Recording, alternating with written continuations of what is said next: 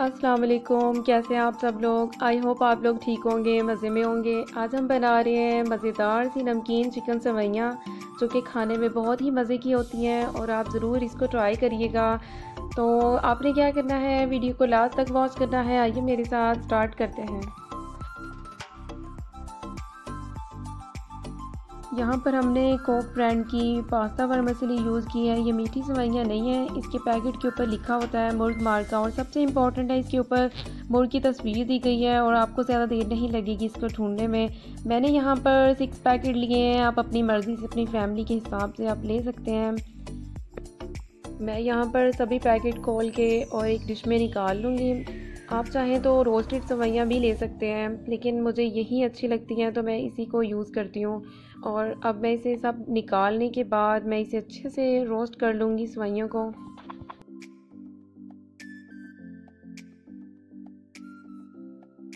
मैं यहाँ पर क्लोज़ करके आपको इसकी शेप दिखा रही हूँ। आप देख सकते हैं कि इसकी शेप जो है वो बिल्कुल नूडल की तरह ही दिखाई देती है, लेकिन ये बहुत ज़्यादा लंबी नहीं होती। अब हम एक कढ़ाई लेंगे और इसमें सारी सवैयाँ डाल के इसको रोस्ट होने तक पक भून लेंगे मीडियम फ्लेम पे हम सवैयों को रोस्ट करेंगे। बहुत तेज़ आँच पे हमने इसको रोस्ट नहीं करना, नहीं तो ये सारी जल जाएँगी। तो सवैयों को हमने यहाँ पर रोस्ट कर लिया है। अब हम इसे एक साइड पे रख देंगे और इसका मसाला तैयार करेंगे।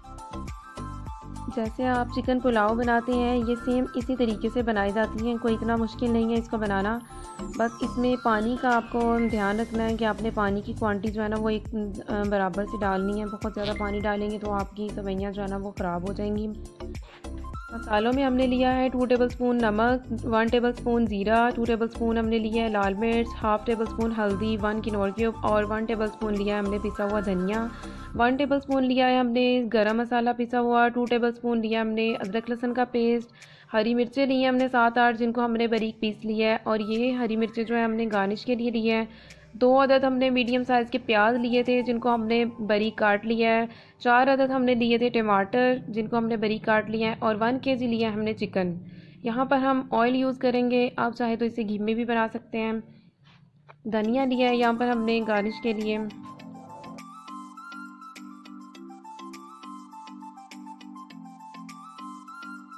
सबसे पहले हम एक पतीले में एक कप ऑयल डालेंगे।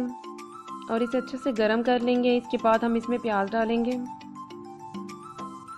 और प्याज़ों को हमने लाइट ब्राउन होने तक पकाना है।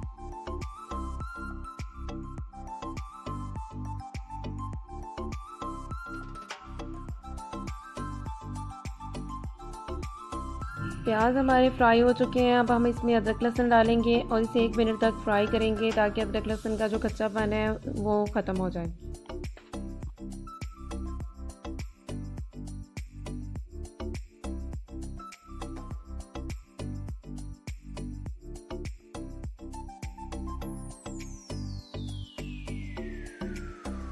अदरक लहसुन को फ्राई करने के बाद हमने इसमें चिकन डाला है और चिकन को हम कलर चेंज होने तक पकाएँगे। इतनी देर तक कि इसका जो कलर है ना, वो वाइट हो जाए।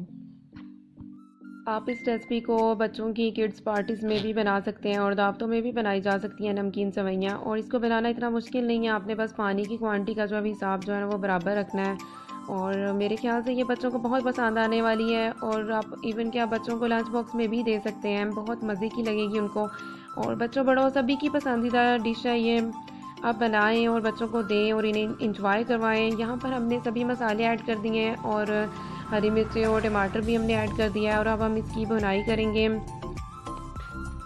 आप चाहें तो इसे बोनलेस चिकन में भी बना सकते हैं और मेरे ख्याल से बोनलेस चिकन में तो ये बहुत ही जल्दी कम टाइम में बन जाएगी। तो आप इसको बोनलेस चिकन में बनाएँ और बस जल्दी से इंजॉय करवाएँ अपने बच्चों को, अपनी फैमिली को।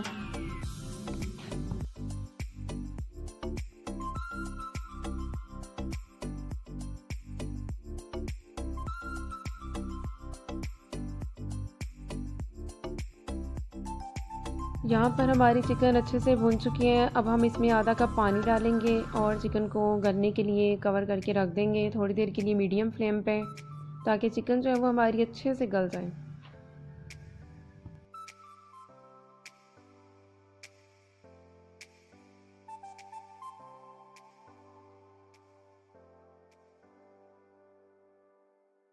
चिकन जो है हमारी मज़ेदार सी खुशबू के साथ जो है वो पक चुकी है और हमने इसका कवर भी हटा लिया है। अब हम इसमें पानी डालेंगे। चार मग मैं इसमें पानी डालूँगी। आप अपने हिसाब से पानी डालें। पानी बहुत ज़्यादा नहीं आपने डालना। मैं इस मग के हिसाब से डाल रही हूँ और आप भी इसी हिसाब से डाल सकते हैं। दस मिनट के लिए आप इसे पकने दें और जब इसमें उबाल आ जाएगा तो हम इसमें सवैयाँ ऐड कर देंगे।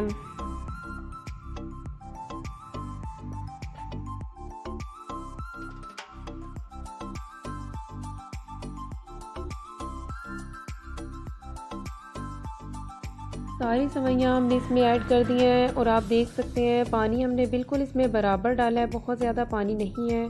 और मैंने यहाँ पे सिक्स पैकेट जो है वो सवैयाँ ली थी और मैंने फ़ोर मग के हिसाब से पानी ऐड किया है। तो अगर आपने दो पैकेट के हिसाब से बनानी है तो आप इसमें वन एंड हाफ़ कप जो है वो पानी का डाल सकते हैं। और बनाएँ इंजॉय करें। यहाँ पर हमने थोड़ा सा गरम मसाला ऐड किया है, ताकि इसकी खुशबू जो और इसका फ्लेवर जो है वो और भी मज़े का आ जाए।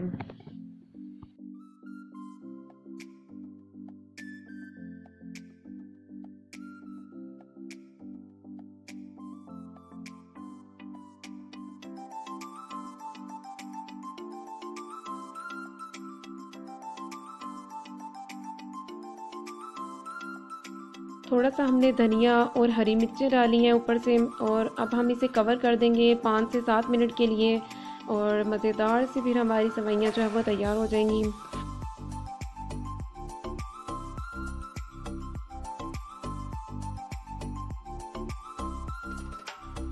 तो यहाँ पर पाँच से सात मिनट हो चुके हैं और मज़ेदार सी खुशबू के साथ हमारी सवैयाँ जो है तैयार हो चुकी हैं।